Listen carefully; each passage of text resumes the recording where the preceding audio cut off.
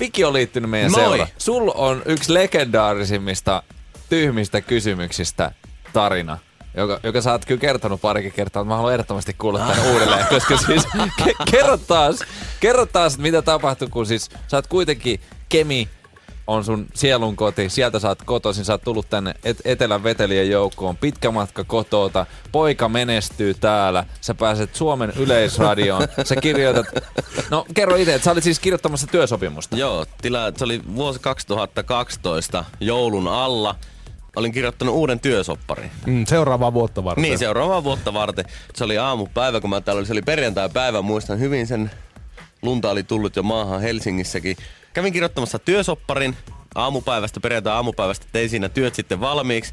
Ja sitten itse asiassa taidettiin teidän kanssa Joo. lähteä käymään after workilla sen Kyllä, jälkeen. niin Kyllä lähtiin, käytiin. niin Iltapäivä oluus. Juuri Kyllä, näin. ja Ja siinä välissä olin sitten, olin sitten tota, soittanut isälleni, että morjesta, että hei, että tuun tuossa taas jouluksi sinne. Ja kirjoitin muuten äsken työsoppari, tai tuossa tänä aamuna työsoppari. Niin ensimmäinen kysymys, mitä isäni kysyi, ei sanonut, että mahtavaa, onneksi olkoon, vaan kysyi, että monelta sä sen kirjoitit?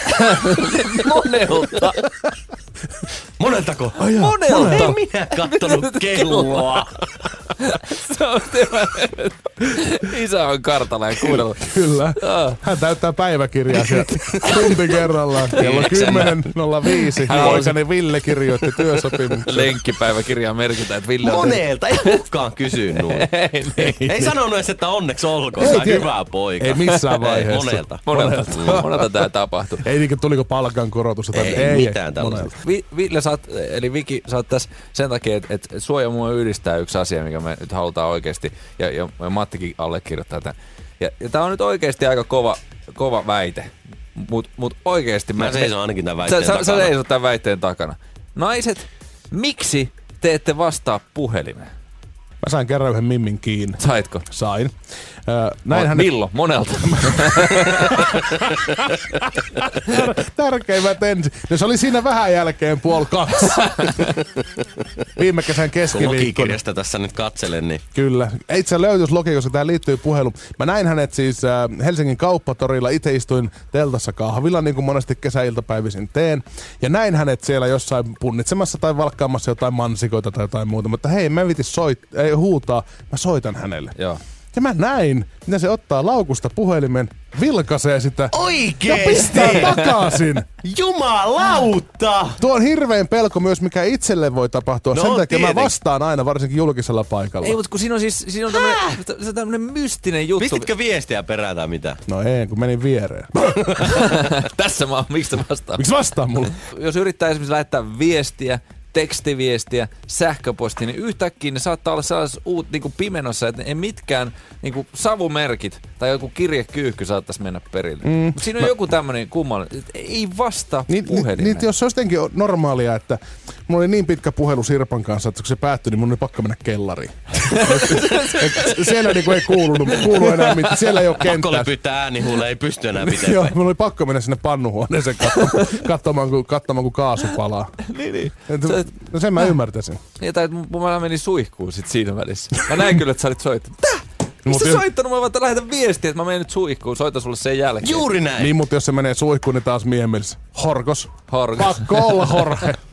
Miten vähän niin kuin muinaisessa maailmassa tämä homma? Oliko jotain tämmöistä, että no toi kirjekyyhky tuli nyt tohon, mutta mä, mä en kyllä kiinnitä siihen alkaa vielä mitään. Mm. Mä haluan Siinä miettiä ja pohtia ensin, että mitkä mun tunteet prinssi Galdebaria kohtaan on. Se on prinssi nimi. Kuulu- Kuuluisa prinssi Kaldebar. Mitä hän minulle kirjoittaa? En vielä huomaa tuota pulua tuossa.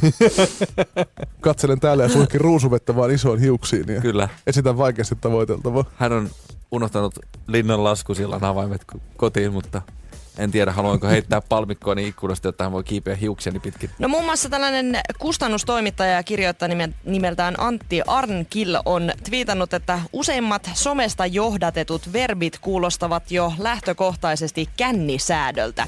Tinderöidä, tumblata, tubettaa, fesettää. Mm. Niin kyllä myös sometus on vähän No semmoinen. itse mä sometin sitä Mimmi.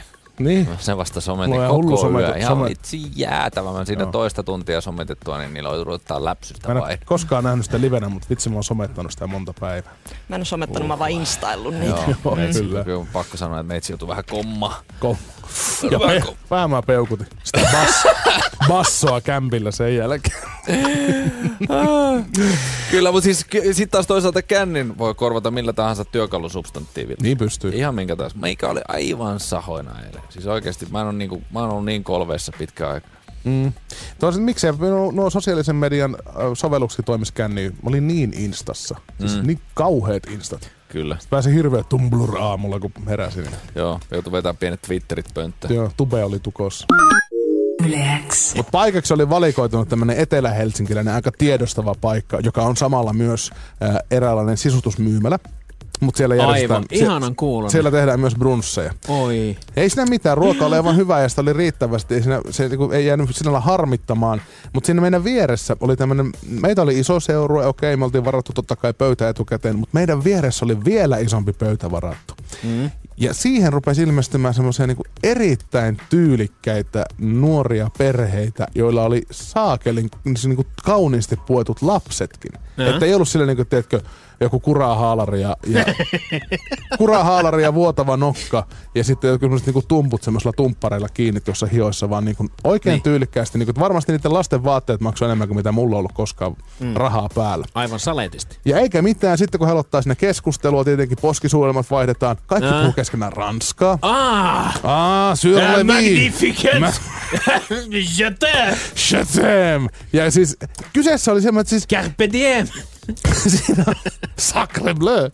Siinä oli yhden lapsen syntymäpäivät meneillään. Ah. Eli ne oli varattu, että ihanaa kokoonnutaan brunssille. Seurasi niin eurooppalaisia ekspaatteja, jotka asuu Suomessa ja puhuvat ranskaa Ää, keskenään. kyllä, ja kyllä. varmaan jostain EU-kemikaalivirastosta ja suurlähetystöstä ja tällaista porukkaa. Ja oikein kulturellia. Ja sitten me siinä raappahousuissamme koitimme raapia, raapia croissanttia näyttämättä aivan hirveältä. Ai siis croissant. Tietenkin tilas sen täydellisesti. Croissant. Ah. Itse vedelin croissanttia. Le paquet.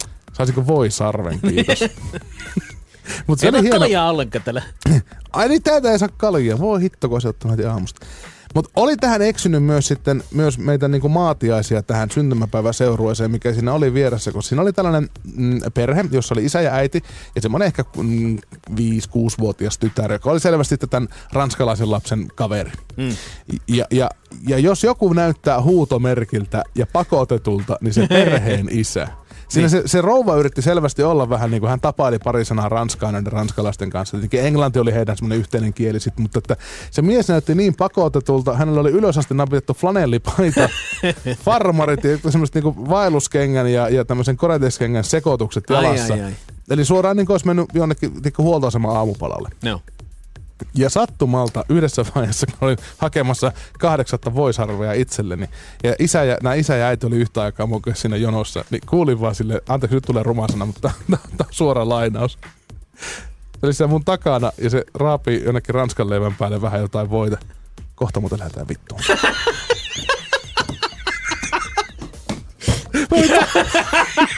Pakko kääntyä ja näyttää, näytin littipeukku, niin, niin. I can feel you, Miehet brother. makas nimenomaan. Yle X aamu. Kene ja Matti.